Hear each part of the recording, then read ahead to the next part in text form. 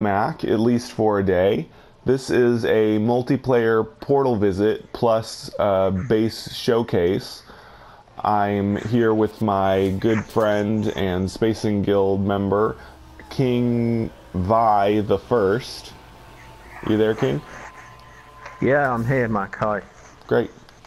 So I'm going to put in his portal address, go to his planet, and then I'll be constructing a vehicle bay and his base is pretty close to the portal so I'll be traveling to his base and we'll get to see his base as well.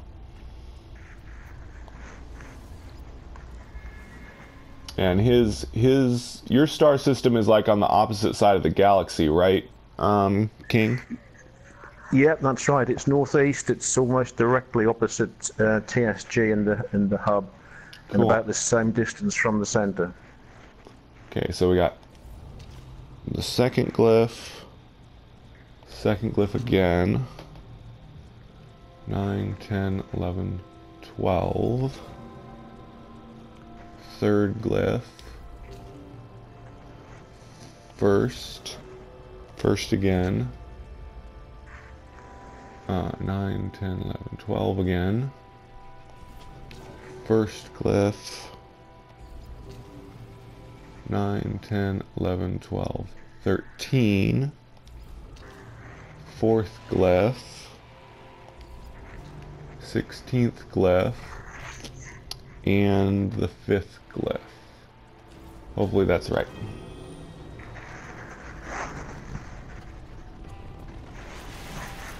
I'm pretty sure I have all the ingredients for the vehicle in my exosuit inventory. Let me double check. Yep.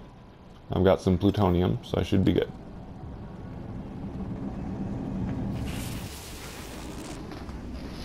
Now, is your is your base um, is your base pretty big, or is it just? It it's at the limit. Oh wow, cool. And this will also be a good test to see if the base share system is working well. Um, before 1.3, there was a lot of times when you would visit someone's base and it wouldn't be updated. It would be like the way it was like weeks before they cha- made changes to it or whatever. So hopefully, of course, you won't be able to see what I'm seeing, but if there's if there's a glaring difference, you try to show me something and it's not there for me, then we'll know. Yeah, and I can always watch your video later, which will be really interesting to see if there are any differences. Yep. Yep, yeah, that too. So it looks like I'm here. Viking You are. system. You are. And are you here? I don't see Yeah. you. Oh God, I can see you, Mark. I'm right in front of you. Uh oh. Okay. there you well, are. Can you? Yeah. Can you see Cool. my beacon? Um, no, you can't see beacons on. Oh, for your oh, base. sorry. No. For your base, you yeah. Sorry. Yeah. Yeah, I see, yeah, I see the green one for your base. Yeah. Um, where'd you go now? you keep. Oh, there you are. right it's so, you. It's so bright here. It's hard to see your orb. Um, do you want to make the monolith here or at your base? Or At the not base, monolith. I think, would be nice. Yeah, the monument. Yeah. Okay, I'm gonna, I'm gonna build the exocraft bay. And I'll, I'll also leave the message terminal at your base as well. So are you gonna fly there or ride a vehicle? I'm on Nomad, Cool. so I'll I'll arrive at my base about five minutes after you. yeah. Well, you do you want to try racing just to see? Yeah, we might as well. I don't mind Okay. losing. I'll let you. I'll let you say when to go. Yeah. In fact, do you want to give me a head start and then you Sure. can get? So I'm I'm going. Okay. I'm going now too. Don't worry about the storms here, by the way. They don't last long, and you don't uh, need to get indoors or anything. Yeah, this is a really pretty planet. I kinda like flat. it a lot. Yeah. It's kind of flat, but the flat savanna look That's is right. kind of nice. Exactly, and the snow-covered mountains. It's real nice. I was I was lucky. I found it in the Artemis uh, storyline, and just decided to stay. Oh, cool. I like the the pond has lots of sand texture around it, like a beach.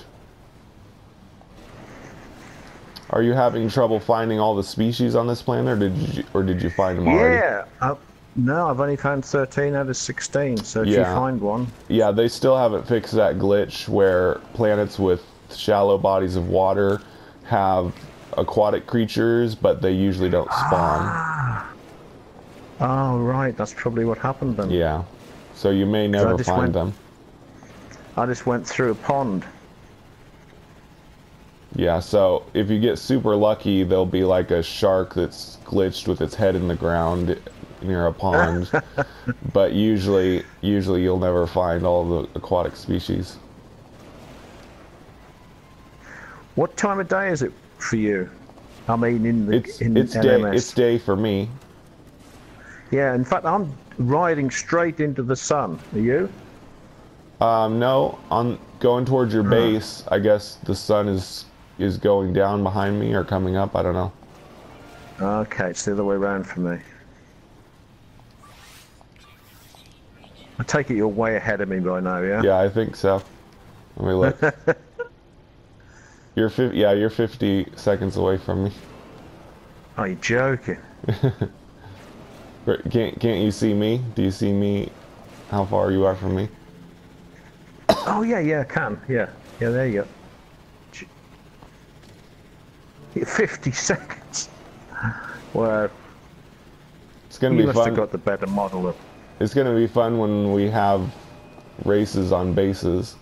See who can like you know if a bunch of us do a race like four people at once or whatever.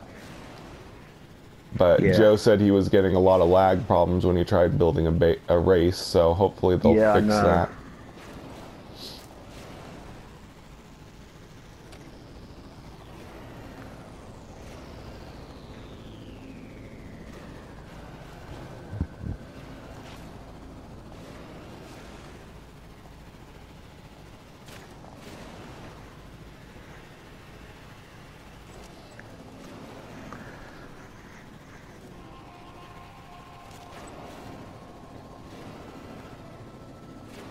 Yeah, I hope we can get more clients. We seem to be getting a lot of new members, but not a whole lot more clients. And I want, I want the Spacing Guild members to be able to get, um, you know, points and rank ups and everything. Yeah, absolutely.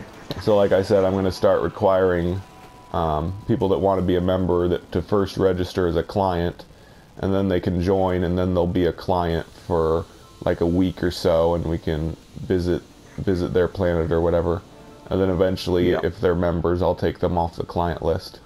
Wow, this is a really nice um, base. I'll, I'll wait till you get here to, to show me around it, but this is really nice looking.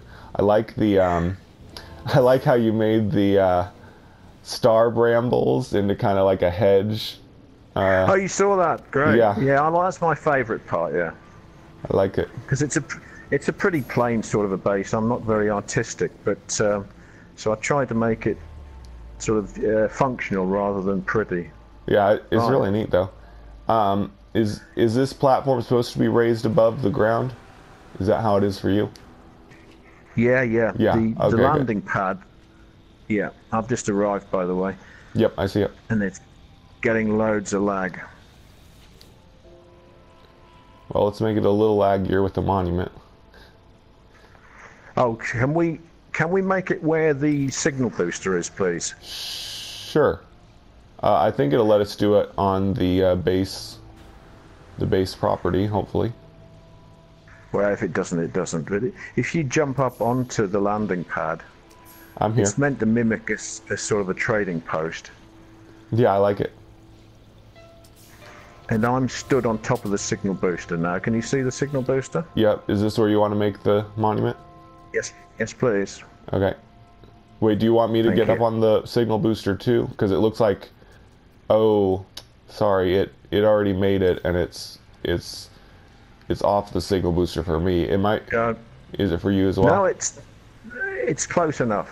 Okay. It's close enough. That's perfect. Thank you.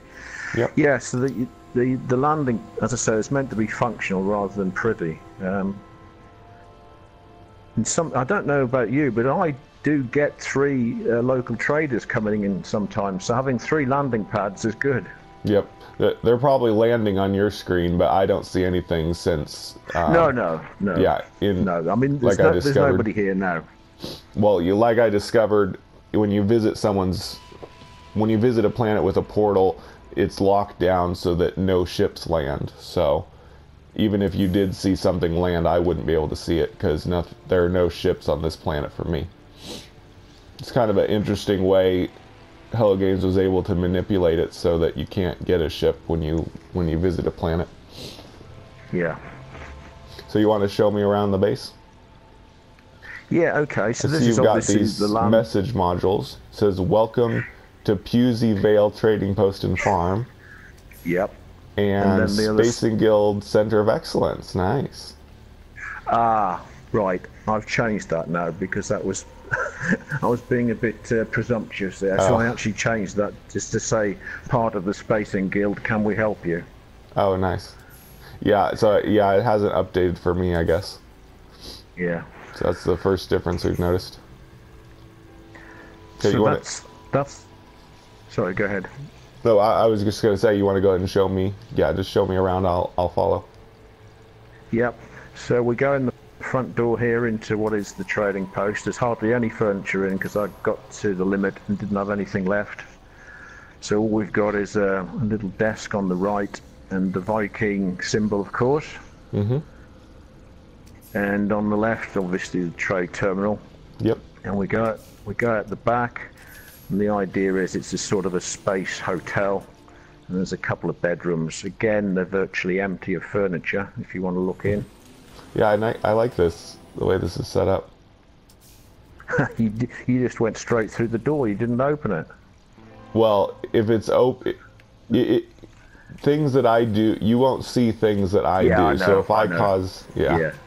So if you Yeah, open the door and I go through it, it'll look like I'm going through an open door. But if I go through it and you aren't near Yeah. it, it looks like Yeah. I'm going through a closed door. So we've just got a couple of rooms there, as I say, reached the limit, and it's not a, the balcony's kind of nice when the sun comes around.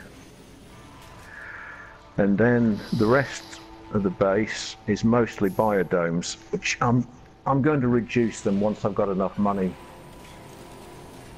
But at the moment, it's optimized so you get three of all the most valuable products: the explosive, the living glass, and the circuit board. So you make about nearly 10 million every harvest. Wow. Yeah, I might, As- I might go ahead and make this a center of excellence if you're okay with that. Because you've got a, you've to. got you've got loads of resources, and as long as you keep them here, um, I could add it to the center of excellence list, and people can visit. Especially since it's so close to the portal, it's pretty perfect for it. Exactly. I would love I would love that Mac. Yeah, so I'm glad you like the star bulbs. I think they're real pretty, and uh, I, I'm a gardener anyway, and so I thought oh, I'll put some along there. So we've got the steps there, which I sort of kind of liked. It just makes it look a bit more impressive. And if you go back towards the uh, buildings, you see a garage door. Uh, garage? You- No, I don't see a garage door. Or do you Ah. mean Up. Right. I wasn't looking the right way?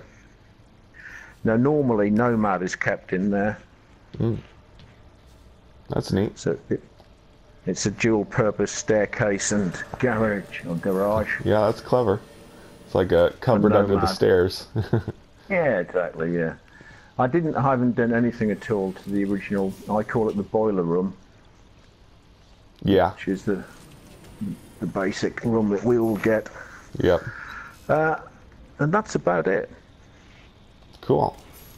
Yeah, I think I'm now that I'm now that we're doing this, I think I may change the description of centers of excellence that um, uh, if rather than us telling a player that they have to build a certain kind of base, um, a a member can apply for their base to be um, to be to be a center of excellence, meaning um, so if I or Boomstick Joe visit their base and we judge that it is um, useful for other players, like it has a lot of um, crops planted, or if it has um, a race that's really enjoyable, then um, then then we can approve them, and it will be a center of excellence, and they can start earning points for it.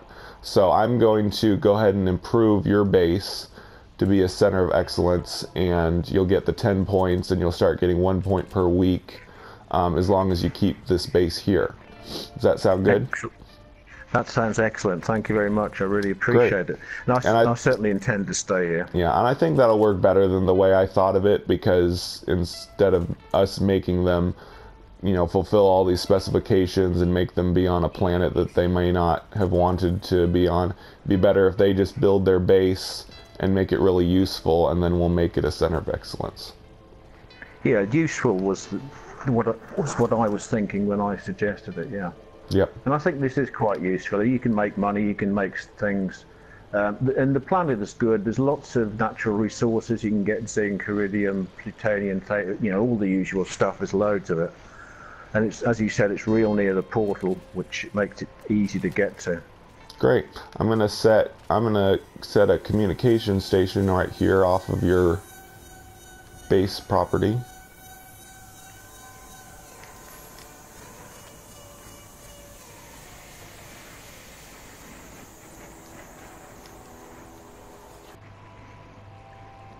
Uh-oh. Oh, there it is.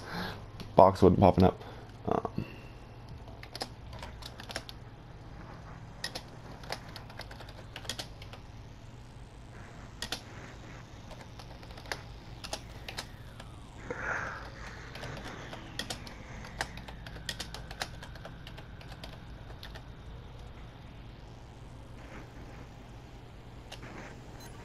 There. Thank you. Uh-huh. By the way, do you see my exocraft? There's one parked under the landing pad. No, um, no, you never see another person's exocraft. You only see your own.